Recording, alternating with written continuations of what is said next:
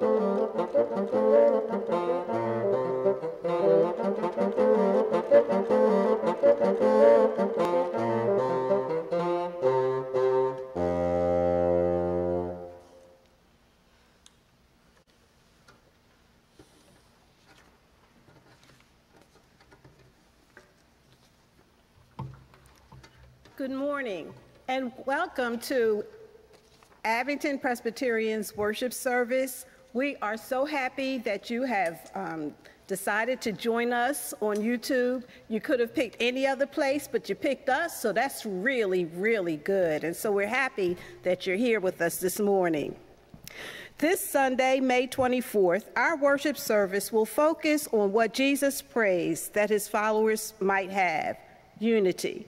Scripture lessons will be Acts 1 chapter 1, verses 1 through 14, and John 16, 32 through 17, 11.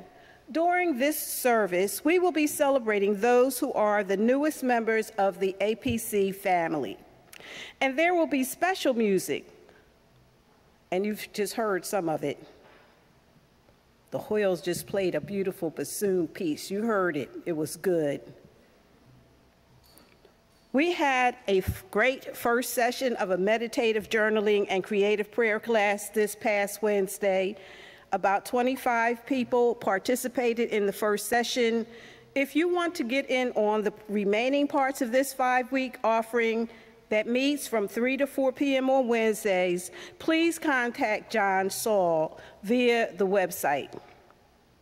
We want to celebrate those from APC who are graduating from high school college, or graduate school, please send such information to Aaron Twitchell via the webpage.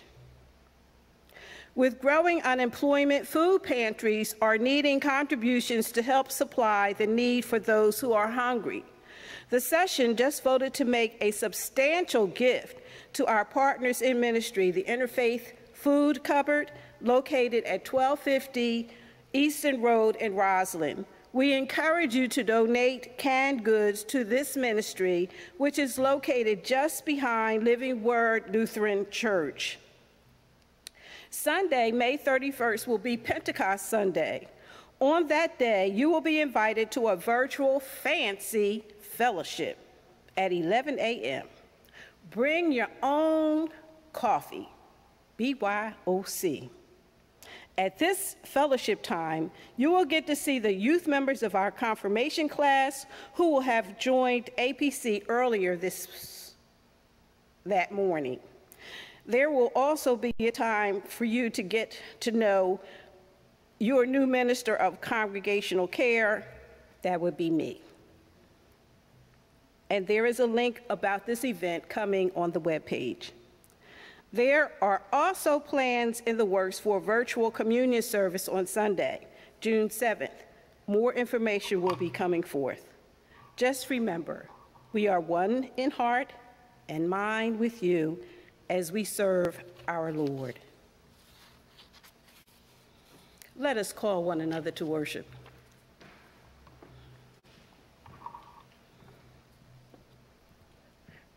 Our human scene has received a visit from the eternal. God's realm comes into our history to revamp all our possibilities. The risen one is lifted in God's glory, and we are moved to worship. Even as our congregations physically separate, we seek to be united in expressing our praise. God's Spirit empowers us to share the love of God with all people. Come, O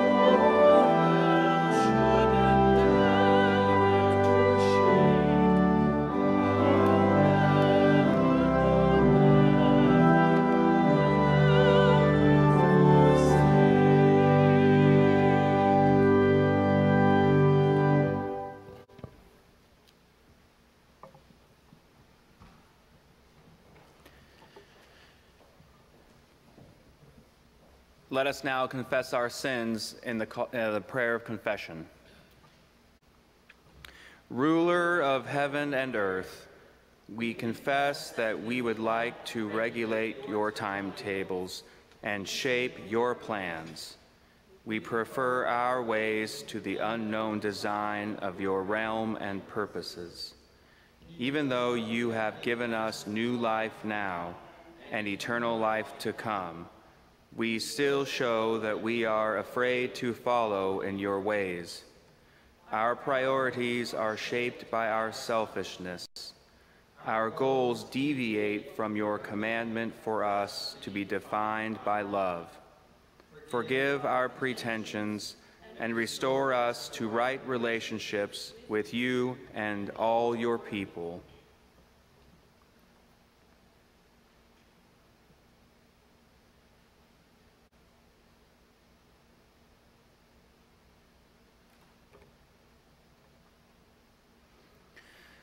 The way has been opened for us to live into God's gracious reign. In Jesus Christ, we are forgiven. Thanks be to God.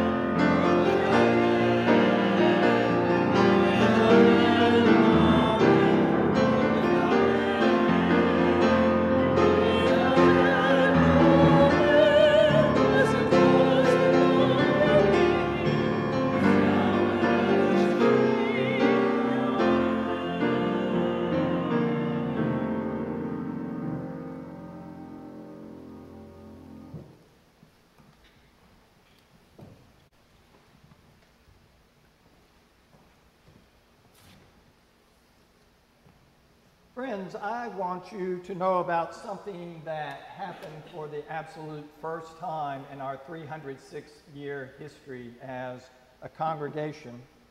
We have new members who joined the church in a virtual session meeting. It's not the first virtual session meeting we've had, but this was the first time that we've had members join in that way. This past Wednesday night, we celebrate our newest members this day. David and Sandy Bishop, Michael Kemp and Janet Easley, and Kate Zarnecki. There's information about each of them in today's bulletin. Also, at this time when we cannot yet gather to baptize infants, but look forward to doing so, we still celebrate their entrance into our church's family. We rejoice in the birth of Kate and Walker, Walter Sarnecki's son, William Casimir Kaz Sarnecki, who was born April 30th. We also give thanks to God for the birth of Amanda and Joe Pompili's son, Joseph Walker Pompili, May 17th. Let us lift up our welcoming hearts in prayer. Gracious God, we give thanks for the newest members of Abington Presbyterian Church. We celebrate your gracious welcome, which we seek to emulate. Enable our newest members to grow in their faith as followers of Jesus Christ as part of this congregation.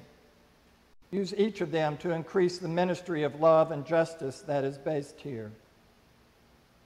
Pour out your spirit upon David, Sandy, Michael, Janet, and Kate. We also give thanks for the safe arrival of William Casimir Sarnecki and Joseph Walker Pompili. We know you delight in the littlest ones among us even more than their new parents do. Give rest, strength, and gentleness to Kate and Walter, to Amanda and Joe as they seek to nurture their young sons, as they long to demonstrate God's loving embrace in their own. Bless us as a congregation as we seek to give care and support to each of these people who are now a part of us. With grateful and joyful hearts, we make this our prayer in Christ's name. Amen.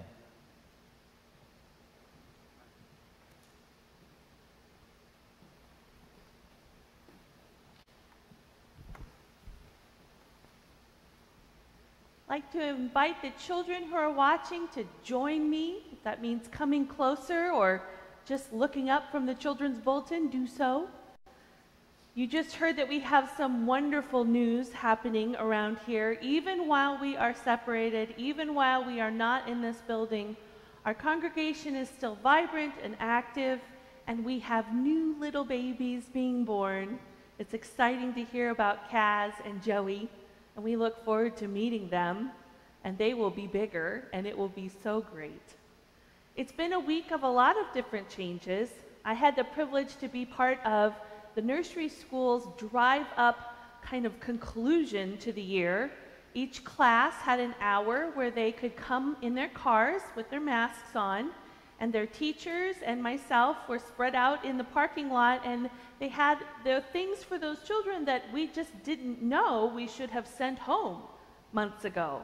The circle spot their name tag their star of the day special that they wear some artwork. There were even um, i think it was shamrocks were mostly the artwork that was going home because the last time we were here in the preschool at the church was in march and then there were little gifts, things to remind them of their teachers, books to read a little bit over the summer, and just some special things so that they knew how much their teachers were thinking of them. And it was wonderful and joyous for them to come and see the building. More than one child, more than a few children wanted to get out of the car and come right in and have class. And that was a little bit of a sadness. But it was so joyful for them, even with the mask on, to see their teachers. Few of the little threes, we had to kind of peek our faces so they knew just who we were, because those masks are pretty great, and they weren't so sure who was behind them. There was, though, one little girl named Luna who was in line and she talked with her teachers and I saw her before she got up to the teacher area and we sang a song or two and talked about monkeys jumping on the bed, one of our favorite songs in music. And I saw as Luna's parents were getting ready to go, Luna piped up and said, But where is the party? And her parents said, Oh, this is the party, Luna. And Luna knows that sitting in a car talking to someone out the window is not a party and her face fell, and her eyes got a little teary. I think that she had been so excited about this moment to come see her teachers and be at her wonderful preschool, this place that Abington Presbyterian Church, Abington Presbyterian Nursery School has provided for 60 years in this community, that the thought of a party without everybody else did not really feel like a party. I know she was okay once she got home, but I was feeling a little like Luna. It is the 60th anniversary of our nursery school. For 60 years, this community has blessed the neighborhood, children, families, people from all walks of life with a vibrant and wonderful place to bring their children. And I have met a lot of you through preschool. Because not only do I get to work with singers in kindergarten through sixth grade, but I also became the nursery school music teacher about 11 years ago, and I have loved that connection. In fact, some of you came to start coming on Sundays because you loved how much fun it was to be here during the week. So we thank our nursery school for those visionaries over 60 years ago who started that program for the people within the church who said this is important to us and our ministry to the community, for the director who's celebrating her 30th year, Mrs. Foy. I bet a lot of you have met Mrs. Foy. She's something else. for all the teachers who have been here, and especially for all the children and the families. What a wonderful way for us to remember that even though we can't have a party together, Luna, we are celebrating joyfulness in this community through vision and love towards children. Let's say a prayer. God, you give us so many ways to learn about you, and we are ever grateful for those who teach us. Thank you for giving the gifts of patience and kindness, love, and joyfulness with children to those who teach and love to be around the little ones. We are so blessed by your gifts. Amen.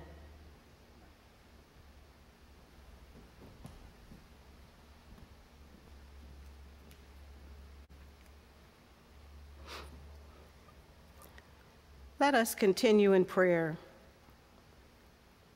Grant us, O Lord, the spirit of wisdom and insight, the spirit of counsel and power, the spirit of knowledge and of the fear of the Lord, to make us quick in understanding and true in judgment, according to the example of Christ, by his grace. Amen.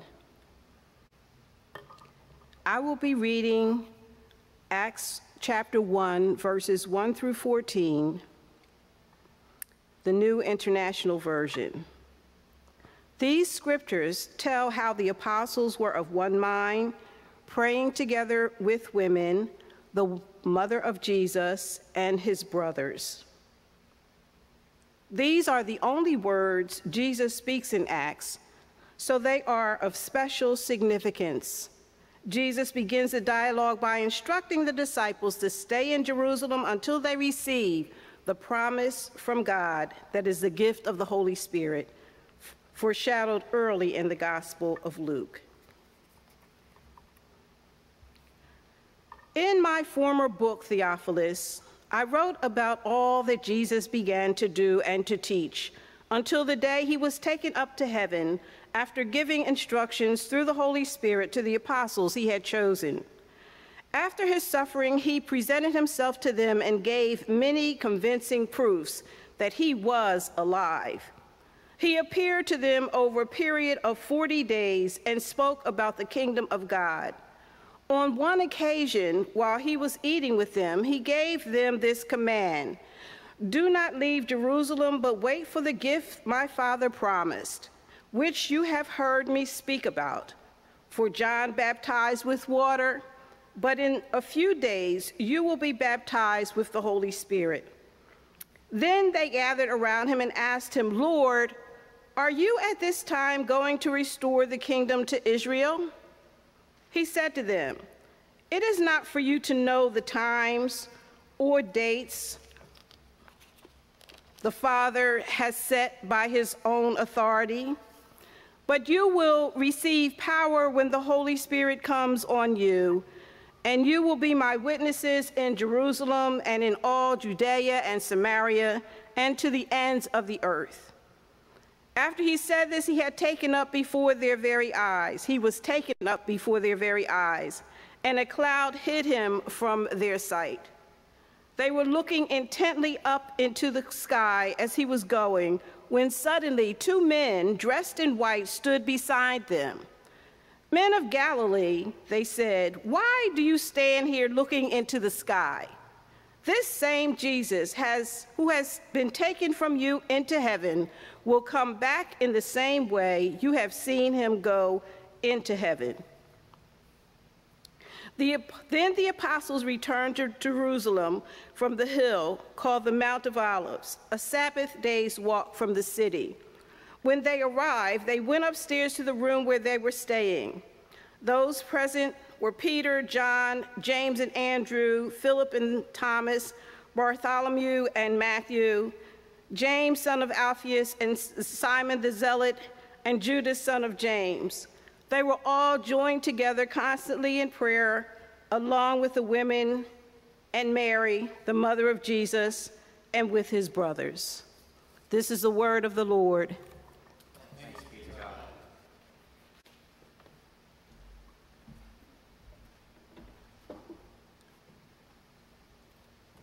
Before I share our other scripture reading, uh, which is about Jesus praying for his followers, uh, let me just mention that uh, within the last week, our large labyrinth, uh, which is on our lower parking lot, got repainted, renewed for use for you to come.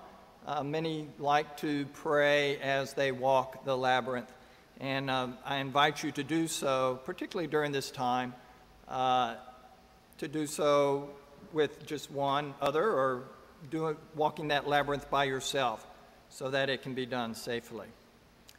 Our reading comes from the end of the 16th chapter of John, the beginning of the 17th chapter. The setting is the upper room. It is the night before Jesus would be killed, and he is sharing last things with his disciples. And we hear him say this and then enter into prayer for them. The hour is coming, indeed, it has come, when you will be scattered, each one to his home, and you will leave me alone. Yet I am not alone because the Father is with me. I have said this to you so that in me you may have peace. In the world you face persecution, but take courage. I have conquered the world. After Jesus had spoken these words, he looked up to heaven and said, Father, the hour has come.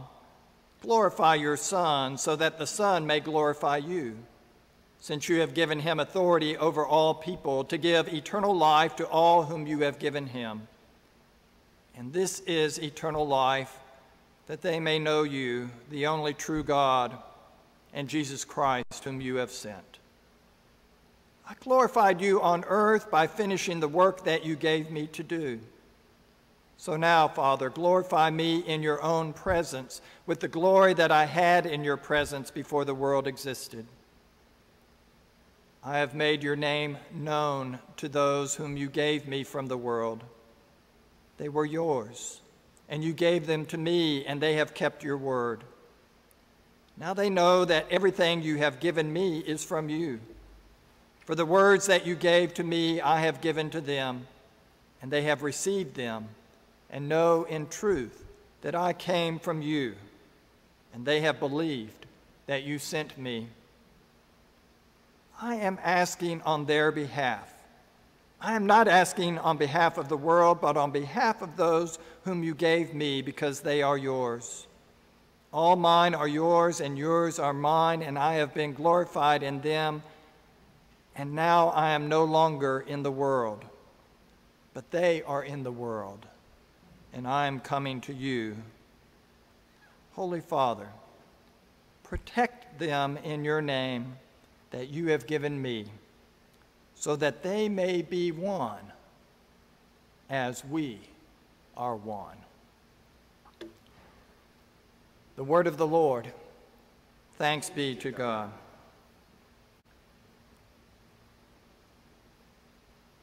A number of years ago, there was a bit of a fad to have a colorful bracelet with the initials WWJD embroidered on it. And perhaps some of you may still have one. The acronym stands for What Would Jesus Do? That's not always easy to answer, but it is an appropriate question for followers of Jesus to ask, even though we can't do all that he did.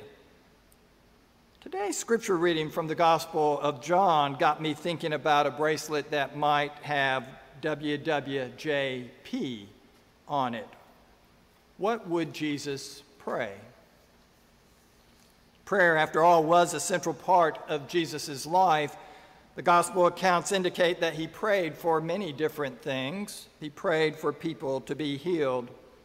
He prayed for God's reign to come on earth in the Garden of Gethsemane, later on the night from our scripture reading, he asked that the suffering that was before him might pass.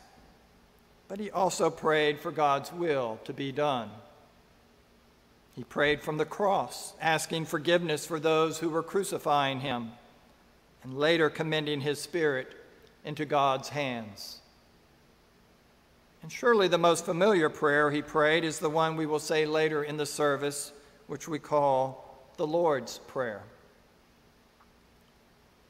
Through what Jesus prayed and what he taught about prayer, we can understand the gift of prayer as a chance to open our lives to the fullness of God's hopes, promises, and care. It is often easier to give in to despair of how things are than to believe that God offers another way. At times, we might be inclined to think that God doesn't listen to us when we lift up our hearts in prayer. But Jesus, by his praying, indicates otherwise. The scripture reading that I shared was just a portion of the longest prayer Jesus utters in any of the gospel accounts. It comes at the end of what is referred to in John as our Lord's farewell discourse. On that Thursday night on which he got betrayed, Jesus knows he is about to die. In the context of his Last Supper with his followers, he prepares them for the time when he would no longer be physically present with them. He washes their feet and challenges them to serve one another. He instructs them to love each other even as he had loved them. He teaches them about the Holy Spirit's pending arrival to be with them and assures them that they would still be able to abide in him. But the last thing Jesus does that evening to prepare his disciples for his departure is to pray for them. He hopes enough, imagines enough, dares enough to lift up the needs of his followers to God. And at the top of the list of those needs would be for his followers to have a sense of unity in the same way he was unified with God. He knew all of his followers would need God's help for that unity to come about, so he lifts up his heart through this request in prayer. Certainly, a group of people can gain unity by recognizing that they have a common threat or enemy The people of the United States lived in significant unity in response to the coronavirus when we were first told about the need for social distancing and other mitigation efforts. There was a high level of acceptance of the public health guidelines. But when an economic collapse came as a second threat, some of our society's unity was challenged. And it did not help that some folks felt like it was to their advantage that the American people not be unified during this time of crisis. However, Christian unity, as Jesus talks about it, is not achieved through being focused just on a common threat. Rather, our unity is based on a reflection of the relationship between God and Jesus. He prayed that his followers would be one even as he and God are one. That is a oneness built on a foundation of love and trust. This kind of unity lived out in the church does not mean that we will always agree on everything and that there will be no conflicts along the way. We have had and will continue to have spirited dialogue about our beliefs and practices. But as we listen to Jesus pray, and as we affirm that he continues to pray for us, we are reminded that the quality of our life together, our ability to make visible the unique relationship that exists by God's grace among us, is compelling testimony to the truth and power of the gospel we proclaim. I do not know just when it will be that we might be able to have in person worship services again. It sounds like we're moving closer to that time. But when we do, there will still be a need for deliberate care taken so that the coronavirus is not spread by our coming together. Some of our worship and fellowship and education practices will need to be different than they have been. Going through that transition might challenge our typical sense of unity here. But if we are mindful, not only of a common threat, but also of reflecting God's love and maintaining a relationship of trust that guides our behavior, then we are likely to continue to see Jesus' prayer for our unity answered in our midst.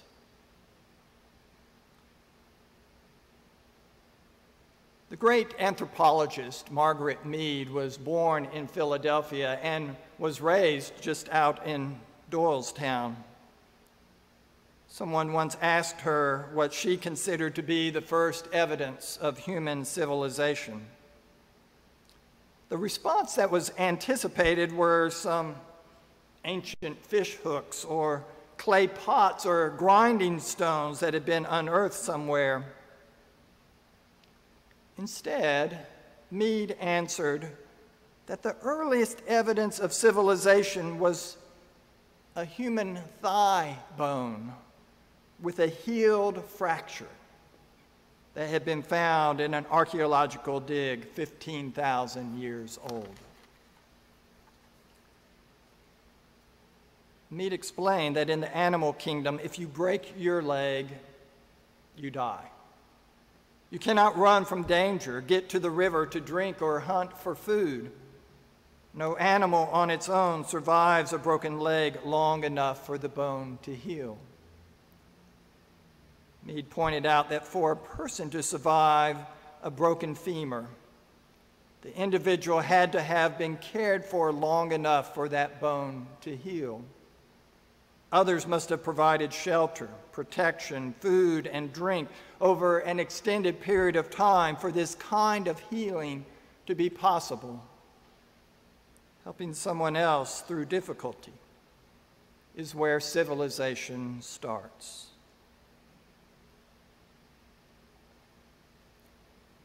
God made us as fragile creatures, but also made us with a capacity for compassionate care that goes beyond mere civility toward a shared unity. Without reflecting love and compassion of the God we seek to worship, we can't be a true worshiping community. We will come together in spirit before we do so physically.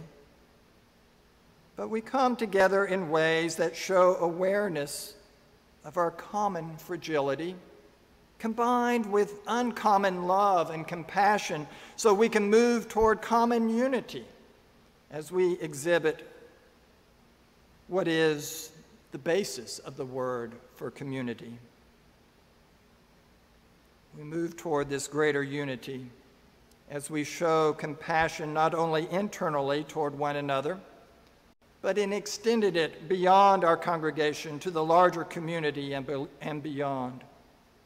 That guides us in our worship and service life as part of the church of Jesus Christ. WWJP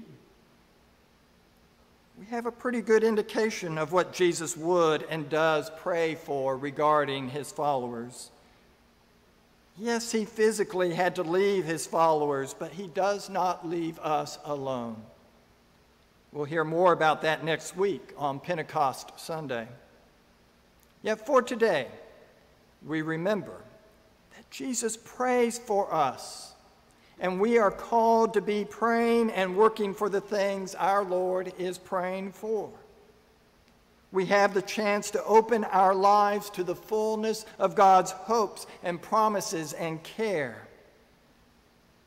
And can you imagine that based on how we care about and for one another, even as we work through various controversies, then with God's help, we will be a part of the answer to Jesus' prayers.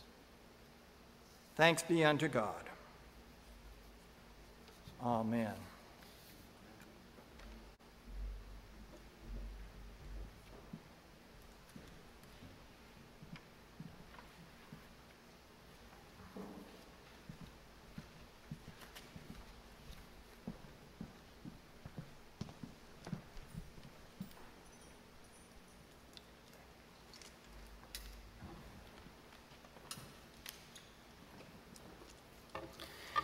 Now, please join us as we affirm our faith using the words to the Apostles' Creed.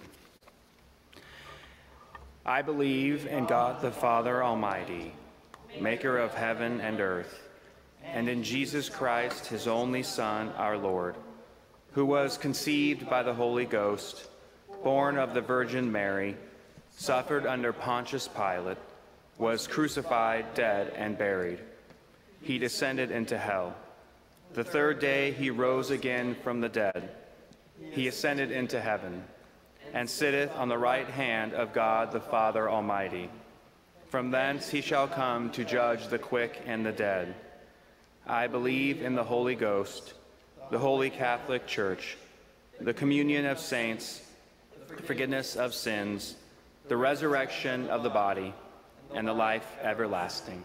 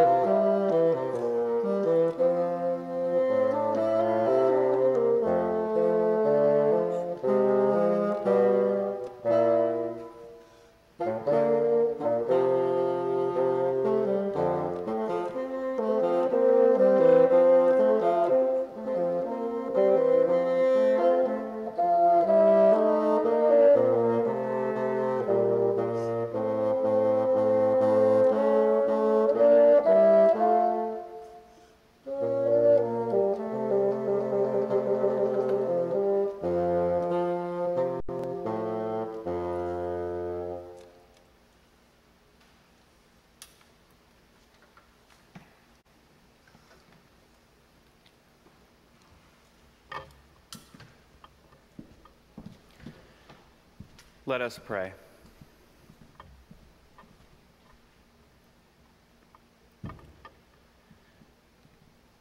Better is one day in your courts than a thousand elsewhere, O God. We long for the comfort of your presence in this time and in every time. You alone can bring us back from the brink. We reach out for you day after day, hour after hour. Draw near to us so that we may come near to you, O God, our King. We pray this day for a special group of brave people that nobody wants to be a part of. For this is the weekend we honor and remember those in our armed forces who have died while in combat. May you continue to minister to their families and descendants, carrying the legacy of their names unto generations to come. Lord, you hate war Woe to the nation that declares war in haste. Woe to the people who celebrate the deaths of God's children in this country and anywhere. Help us, O God, to do everything in our power to avoid the violence and death that war brings. And when our human capabilities are not enough, we ask that you would intervene into our lives to preserve peace. But in all these prayers and supplications, we lift up those in our congregation, in our city, and in our country who have paid the ultimate price. May we remember them as you remember them. God, as states look to reopen in some way, many of us remain apprehensive, nervous, and scared. Our livelihoods have been deeply challenged. Our mental and emotional health have been strained. Our physical health has been depleted. And so we are eager to return to our way of life in some way. Help us to do so safely and wisely. Help us not to put others at risk for our own satisfaction. And let us not forget what this uninvited Sabbath pause has taught us. For in the midst of the turmoil and disruption, children spent more time with their parents, families slowed down their pace, commitments were reevaluated. That which we thought was necessary became negotiable. And so help us, O God, to discern which of these changes might lead us back to a simpler life of devotion to you. And we continue to pray for all those who put themselves at risk in harm's way for our well being doctors, nurses, truck drivers, bakers, car mechanics, counselors and therapists, landscapers, delivery people, bankers, and clerks of all kinds. Protect them all, O Lord, and all of us. God, we are grateful for this church. We are grateful for the nursery school, for Barb and the teachers. We are grateful for our ministry and music staff who have been working hard to continue our ministries. We are grateful for our office staff building folks, volunteers, deacons, committee and council members, and all who have committed to furthering the work of your kingdom in this time. Bless each of them and their families. Lord, we continue to pray for your guidance and wisdom. Help us to seek you in prayer. Help us to call on you and to find you when we seek you with all of our hearts. Help us to grow in our faith by reading and studying the scriptures, prayer and service to one another. All of these things were taught to us by the life of your Son, Jesus Christ, whose resurrection from the dead we continue to declare in this season of Eastertide, and whose prayer we say along with him, as he taught his disciples, saying, Our Father, who art in heaven, hallowed be thy name. Thy kingdom come, thy will be done, on earth as it is in heaven. Give us this day our daily bread, and forgive us our debts as we forgive our debtors. And lead us not into temptation, but deliver us from evil. For thine is the kingdom, and the power, and the glory forever. Amen. As you heard Pastor Jade mention earlier in the service, our session voted to provide a gift to the interfaith food cupboard. And it's choices like that made by the leadership of our congregation that make me really proud and grateful to be a part of this congregation. Because ministries like the Interfaith Food Cupboard need our help in this time, maybe more than ever. And so I'm grateful for our leadership and all of our, uh, uh, all of our members and their families who have continued to give tithes and offerings and gifts to us so that we can continue our ministries for our church family and for the community and beyond. And so, in, at this time in our service, we set aside to prayerfully send in your tithes and offerings as you are able so that we might put that to work for God's kingdom. You may do so through U.S. Postal Service and send to the church's address. You may also head to our website and use our online giving portal, which has been open for some time now. We thank you for your gifts, for prayerfully discerning what you are still able to give to this church, and we are thankful to God.